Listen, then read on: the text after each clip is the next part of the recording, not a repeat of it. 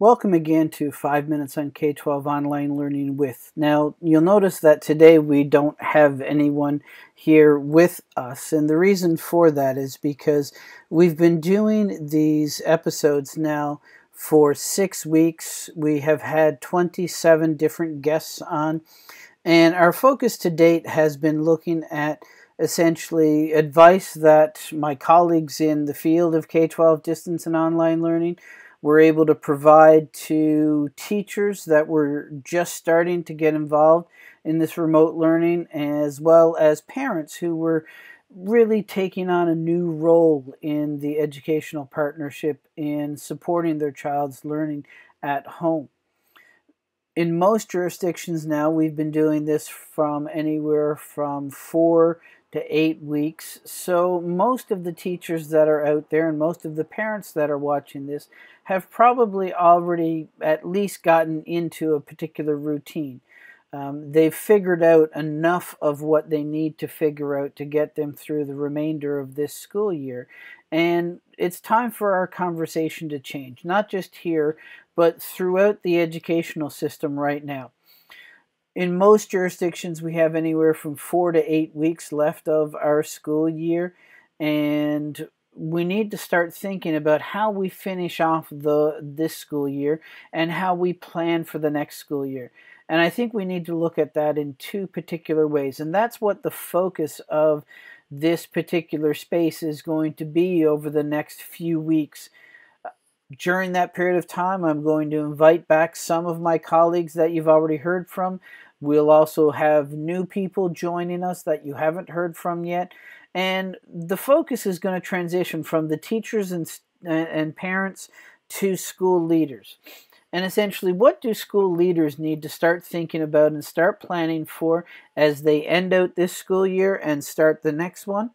As well, what do school leaders need to start planning for for the next time this happens. One of the things that we know about pandemics is that they always come in multiple waves. So there will be a second wave of this particular pandemic, and it will likely come before we have a vaccine in place or before a mass number of people have been vaccinated to the point that we can achieve herd immunity. So schools are going to have to close down again and it might be for short periods of time, it might only be in certain geographic areas, but there is a second wave coming. And when that second wave comes, we'll need to deal with it, and hopefully not in the way where we had to scramble this time and try to figure things out. There's also a good chance that there will be local flare ups in different areas. So you might have a particular school district and maybe all of the contiguous school districts around it that need to close down because of uh, a high number of cases just in that small geographic area. So, school leaders right now need to start thinking about what they do next time so that we're not caught a second time around because let's face it, everyone really in North America, I would suggest everyone in the world, was sort of caught with both how quickly this particular incident happened and how severe the consequences were in terms of how much we had to shut down society. Um, we know that this is going to happen again, so getting caught once is excusable. Getting caught a second time is simply inexcusable. So, what do school leaders need to start thinking about as we get ready for the next time? So, I'm going to have my colleagues back again. We will post them at noon Pacific each day, uh, starting uh, on Monday.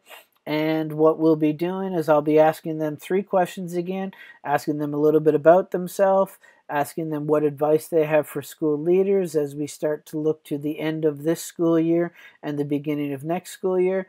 And then what advice do they have for school leaders as they start to think about getting ready for the next time that we have this mass shutdown. So hopefully you will find this particular segment or the shift of focus in this particular segment continuing to be of interest and of use to you. Uh, hopefully you'll find it more uh, engaging than what my two colleagues over here have found as we've been going because let's face it, they just haven't paid any attention to me as I've been explaining this to each of you. So I look forward to seeing you back here again, and hopefully you will find this new focus as useful as you found the last.